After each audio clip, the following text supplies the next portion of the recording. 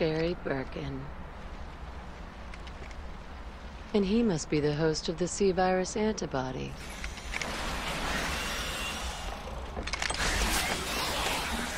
Hmm. Looks like they're not alone.